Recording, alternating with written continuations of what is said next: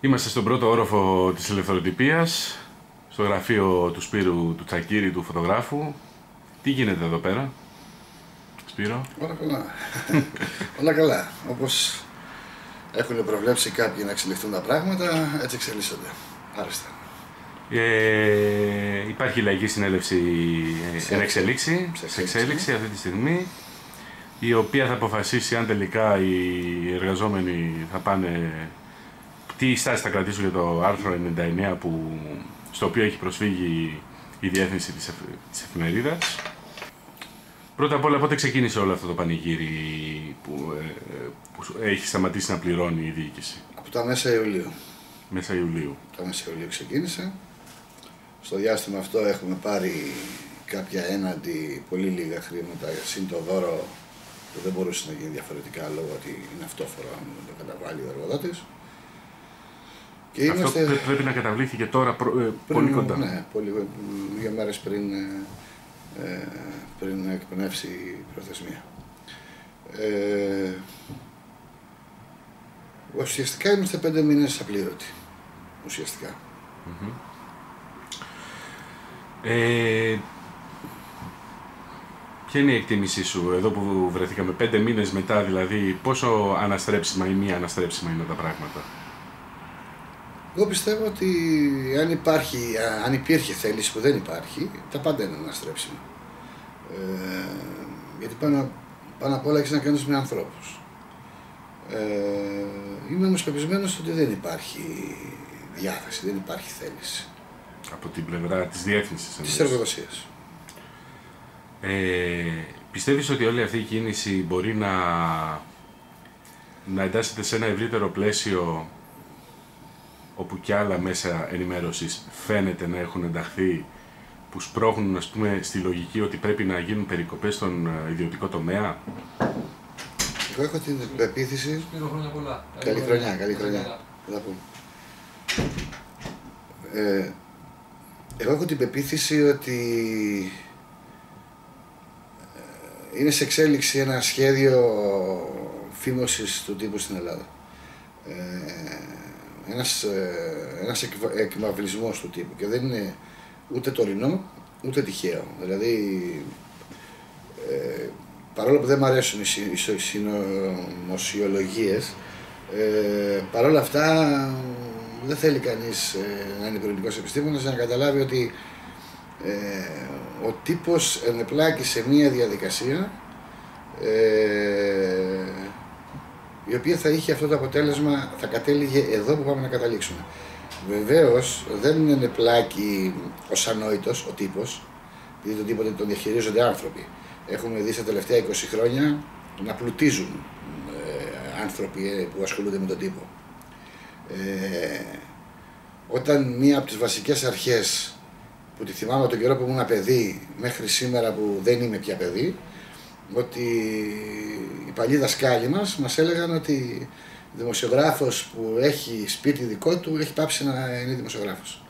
Λέω κάτι πολύ απλό, έτσι, δηλαδή, δηλαδή αν εσύ ε, έχεις γεμίσει το στομάχι σου, έχεις κάνει περιουσία, ε, δεν εξετάζω με ποιο τρόπο, ε, αν έχεις κάνει περιουσία, έχεις, έχεις πάψει προπολού ε, να, σε, να απασχολείσαι με τον αδύναμο, με αυτόν που είναι αδύναμος. Που ουσιαστικά η φωνή δικιά σου ε, είναι η φωνή των αδυνάμων ανθρώπων, των αδυνάτων. Λοιπόν, δεν είμαι ρομαντικός, Απλά απλά... περιγράφεις μια εποχή η οποία δεν υπάρχει πια. Όχι, εγώ διαφωνώ. Περιγράφω μια εποχή που στις μέρες μας έχει μειωθεί πάρα πάρα πολύ. Δηλαδή δεν θέλω να πιστέψω ότι σήμερα δεν υπάρχουν άνθρωποι στον τύπο οι οποίοι είναι ειλικρινείς με αυτό που κάνουν. Γιατί αν το πιστέψω αυτό σημαίνει ότι 27 χρόνια ε, σε αυτό το χώρο τα πέταξα στα σκουπίδια. Και δεν θέλω να, θεω- να πιστέψω ότι η μισή μου ζωή είναι για τα σκουπίδια. Εγώ θεωρούσα και θεωρώ και θα θεωρώ μέχρι να, ε, να έχω επιχειρήματα ότι δεν είναι έτσι, ότι είμαι εδώ για να είμαι με το μέρος των αδυνάτων. Όταν καταλάβω, και το είχα πει αυτά τις πρώτες μέρες που ξεκίνησα αυτή τη δουλειά, όταν καταλάβω ότι δεν κάνω αυτή τη δουλειά, ότι δεν κάνω αυτό, θα φύγω από αυτή τη δουλειά. Πιθανό να ήρθε η ώρα. Πιθανό να ήρθε η ώρα.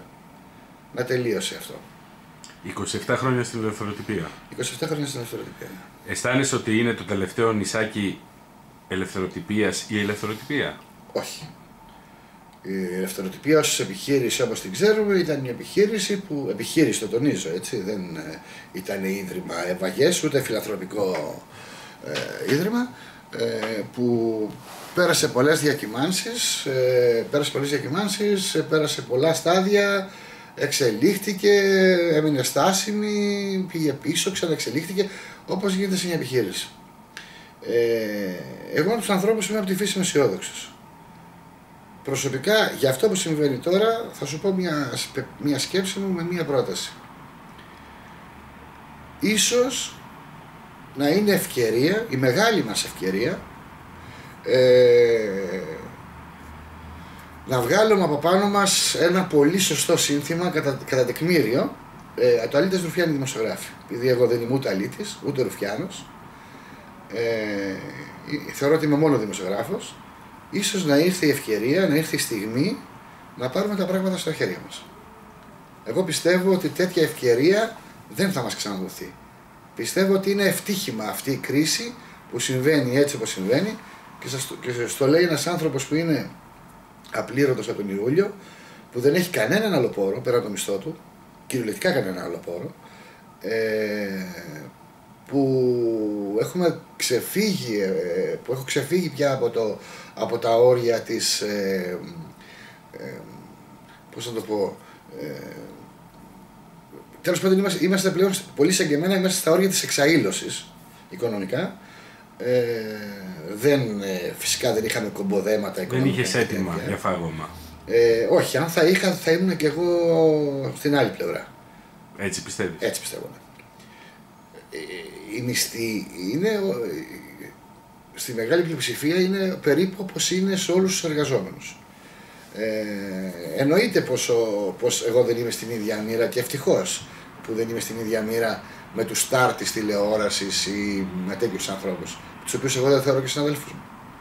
Ε, δεν μπορώ να φανταστώ ότι μετά από 27 χρόνια δεν έχω καταλάβει πώ ε, γίνεται στην ενασχόλησή σου 10 χρόνια με τη δημοσιογραφία να γίνεις εκδότης. Δεν είμαι ανόητος. Ξέρω πώς γίνεται αυτό. Ε, υπάρχει εκείνη η μερίδα λοιπόν και υπάρχει και μια μεγάλη πλειοψηφία εργατών του τύπου. Αυτού τιμώ και σε αυτή την ομάδα είμαι. Σε αυτή την πλευρά είναι. Λοιπόν, όπως έλεγα ότι ίσως να είναι η ευκαιρία μας να πάρουμε τα πράγματα τα μέσα στα χέρια μας. Και αυτό ισχύει για όλα τα μέσα, γιατί, σε όλα, γιατί όλα τα μέσα δέχονται την επίθεση ε, που δέχεται η ελευθεροτυπία ή το alter. Όλα τα μέσα. Δεν υπάρχει κάποιο μέσο που να, ε, να βιώνει τις μέρες των ε, παχιών αγελάδων. Δεν υπάρχει. ακόμα από τα, από τα κομματικά έντυπα να δεις, στην τυπεκδοτική απολύουν, στο ριζοσπάστη απολύουν, κάνουν περικοπές. Στην αυγή απλήρωτη, στο κόκκινο απλήρωτη. Ε, δεν υπάρχει, καλά δεν μιλάω για alter, για αυτό δεν τα ξέρει ο κόσμος.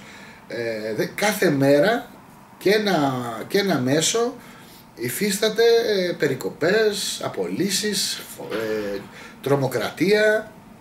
Οπότε λοιπόν τι μένει; Να τελειώσει αυτό κάποια στιγμή μετά από 2-3 χρόνια και να έχουν παραχθεί ανθρωποειδή, ανθρωπάκια που θα ασχολούνται με τον τύπο φοβισμένα, δειλά, που θα είναι υποχείρια των, των αφεντικών τους; Αν κάποιοι ονειρεύονται αυτόν τον τύπο, ε, εγώ είμαι από εκείνους που τα όνειρα αυτά θα, θέλω να γίνουν εφιάλτες τους. Κυριολεκτό, μπορεί να ακούγεται σαν σύνθημα, αλλά αντέχω ακόμα και είναι και πολύ σαν και εμένα που θα προσπαθήσουμε γιατί αντέχουμε ακόμα, γιατί ακόμα ονειρευόμαστε πώς μπορεί να συνδυαστεί η ελεύθερη δημοσιογραφία με μια κερδοσκοπική επιχείρηση; Υπάρχουν δείγματα, δεν πάμε να ανακαλύψουμε την Αμερική. Υπάρχουν ε, δείγματα στον ε, διεθνή τύπο, ακόμα και σε τεράστια ονόματα, τεράστια ονόματα, ε, η Monde Diplomatique, παραδείγματος χάρη, που αν την ακούσει κάποιος θα νομίσει ότι είναι μια εφημερίδα ενός συγκροτήματος, είναι συνεταιριστική. Ε, υπάρχει μια ε, άκρο ε, συνεταιριστική εφημερίδα, ένα φοβερό εγχείρημα. Η, δεν, δεν θα το πω καλά το όνομά της γιατί είναι γερμανικά και τα γερμανικά δεν τα πάω για τώρα καλά. Η Die Zeitung, ε, κάπως έτσι λέγεται. Είναι μια εφημερίδα που βγαίνει στο Βερολίνο, έχει σήμα το πάτημα μιας αρκούδα ε, είναι απολύτως συνεταιριστική. Απολύτως συνεταιριστική και μάλιστα οι μέτοχοί της δεν έχουν δικαίωμα επί των μερισμάτων. Λοιπόν, και το μότο της εφημερίδας είναι ότι, το λέω χοντρικά στα ελληνικά, ότι μας χρηματοδοτείτε για να έχετε ανεξάρτητο τύπο. Υπάρχουν εγχειρήματα λοιπόν που έχουν γίνει στο παρελθόν και όχι από συντεχνιακά έντυπα ή μικρά εξοκοινοβουλευτικά έντυπα. Μιλάω για εφημερίδες μεγάλες, για συγκροτήματα μεγάλα που πουλάνε πολλές χιλιάδες φύλλα. Αυτή η γερμανική εφημερίδα πουλάει 300-350 φύλλα ημερησίω. Η Mon Diplomatique πουλάει πολύ περισσότερα. Λοιπόν, που καθορίζουν το, τα πράγματα στον τύπο και δεν ανήκουν σε έναν εργοδότη, ανήκουν στους εργαζόμενους. Εμείς στην ελευθεροτυπία το, το λέμε συχνά ε, ε, με Έλληνα να τα αποδείξουμε. Ότι η ψυχή της εφημερίδας, η ψυχή της ελευθεροτυπίας είναι οι εργαζόμενοι. Οι εργαζόμενοι. Όπω κάθε επιχείρηση. Εννοείται, εννοείται. Εφόσον όμως εμείς το λέμε ή όποιος άλλος το λέει, είναι, ήρθε η ώρα να τα αποδείξει. Να, άλλα δύο για να μην σε κρατήσω περισσότερο. Το ένα είναι ε, αισθάνεσαι ότι όλο αυτό τον καιρό και όπως και το μεγαλύτερο πληθυσμό, ο μεγαλύτερος πληθυσμός ας πούμε της χώρας έτσι και τα μέσα ενημέρωσης ζούσαν στην οικονομική φούσκα αν θέλεις και κατά κάποιο τρόπο υπήρχε αυτή η φούσκα, υπήρχαν αυτά τα χρήματα αγνώστου προελεύσεως και συντηρούνταν ένα είδους σύστημα ενημέρωσης. Ε, και τώρα πλέον δεν υπάρχει αυτό, ε, ένα είναι αυτό. Και το, το δεύτερο είναι πώς βλέπεις την δημοσιογραφία των πολιτών. Όπως εξελίσσεται μέσα από το ίντερνετ, τα blogs κτλ. Να αρχίσω από το δεύτερο ερώτημά σου, ε, επειδή θα μου πάρει λιγότερο χρόνο. Είμαι υπέρ αυτό, αυτό που λέμε social media. Δεν το κουβεντιάζω, έτσι κι αλλιώς γίνεται ήδη και χωρίς να συνηγορήσω εγώ. Ε, πιστεύω ότι καλώς γίνεται. Υπάρχει όμως ένας πολύ μεγάλος φόβος. Η αξιοπιστία εδώ πέρα. Δηλαδή, πολύ εύκολα μπορείς να παραποιήσεις ειδήσεις, είτε συνειδητά είτε ασυνείδητα, είτε λόγω απειρίας είτε λόγω κεκτημένης ταχύτητας. Στη, στη δημοσιο... Αυτό που λέμε δημοσιογραφία, αυτό που λέμε πληροφόρηση, γιατί δεν μου αρέσει η λέξη δημοσιογραφία, ε, το μεγάλο σου όπλο είναι η εγκυρότητα. Να έχεις τεκμηριώσει αυτό που λες, να το έχεις διασταυρώσει και να μην υπάρχει ψεγάδι αμφισβήτησης. Ε, εάν καταφέρουν αυτό που λέμε στα social media να παράξουν τέτοιας ποιότητας ε, δημοσιογραφικό υλικό, τότε καλώς κάνουν και υπάρχουν. Και το, το χαίρομαι όσο δεν φαντάζεσαι. Στο πρώτο τελευταίο ερώτημα που έκανες, ε, είναι σαφές ότι τα media ήταν σε αυτή τη φούσκα. Όμως ε, θέλω να είμαι λίγο καχύποπτος και τονίζω κατά τη γνώμη μου ότι αυτή η φούσκα δεν ήταν μια φούσκα που παρήχθη έτσι. Υπήρχε ένα σχέδιο, μια εικοσαετία τώρα ε, και πέσανε, ε, πέσανε όλοι μας στην ίδια παγίδα. Είτε είμαστε εργαζόμενοι σε μια εφημερίδα ή σε ένα κανάλι, είτε σε ένα ραδιόφωνο, είτε είμαστε εργαζόμενοι σε κλωστοβιομηχανία. Είτε είμαστε εργαζόμενοι στο, στο, στην, όπου θέλεις, σε ποια εργασία θες. Δεν σκέφτηκε κανένας μας το λέω γενικά για να μην ε, βγάλω τον εαυτό μου απ' έξω. Ότι 20 χρόνια πόσο εύκολα πήγαινε κάποιος και έπαιρνε δάνειο για να κάνει διακοπές, για να κάνει τα ψώνια του τα Χριστούγεννα, ε, να αγοράσει αυτοκίνητο ή να αγοράσει σπίτι. Μου επιτρέπεις; Να στο βάλω ε, συγκεκριμένα. Παράδειγμα, μία εφημερίδα έχει κάποια έξοδα, έχει κάποια Τα έσοδα της εν τέλει είναι από διαφημίσεις, είναι από την αμαρτωλή κρατική διαφήμιση, είναι από τρίτους κύκλους και πώς μπορεί να το ξέρει κάποιος αυτό. Ε, είναι και από τους τρεις λόγους που ανέφερες και θα μπορούσες να αναφέρεις και άλλους 103. Ε, που από τους 103 συν 3 που ανέφερες, οι 102 είναι παράνομοι. Είναι μη νόμιμοι, να το πούμε έτσι χοντρικά. Ε, θα ήταν ευχής έργων τα έσοδα μιας εφημερίδας να ήταν οι πωλήσεις της. Μόνο. Αυστηρά. Δεν είναι έτσι το παιχνίδι.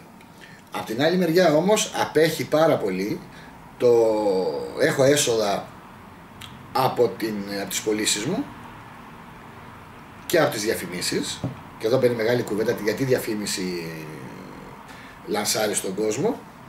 Ε, μέχρι έχω μια εφημερίδα που με βάζει μέσα κάθε μήνα πολλά εκατομμύρια, αλλά έχω και μια εταιρεία άλλη που παίρνει ας πούμε δημόσια έργα και έχω υπερπολαπλάσια κέρδη, οπότε μπορώ να διατηρήσω την εφημερίδα για να ασκώ πίεση στην εξουσία.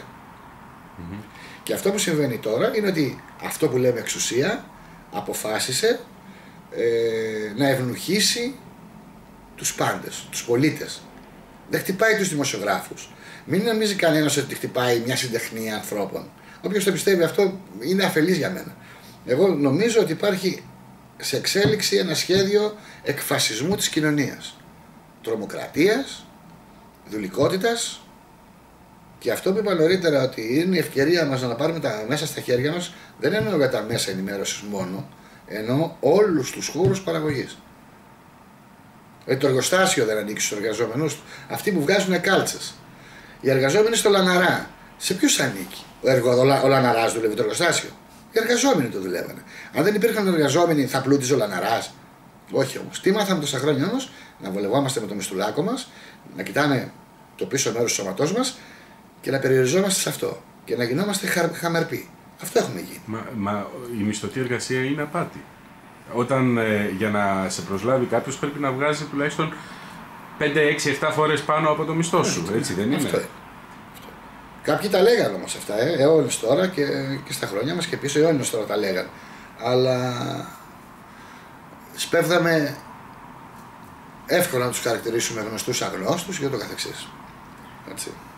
Ωραία. Για να μην σε κουράσω άλλο, μία ευχή για το 2012 που είναι τόσο ε, κατηγορείται ότι είναι η εσχατιά του κόσμου ας πούμε αυτή η χρονιά μία ευχή και μένει να σε πάρω ένα τηλέφωνο να μου πεις τι έγινε με τη συνέλευση τι αποφάσισαν τελικά οι εργαζόμενοι της ελευθεροτυπίας σε σχέση με το άρθρο 99 στο οποίο προσέφυγε η διεύθυνση. Εγώ μία ευχή έχω να κάνω για το 2012. Ραντεβού στα δοφράγματα. Σε ευχαριστώ πολύ.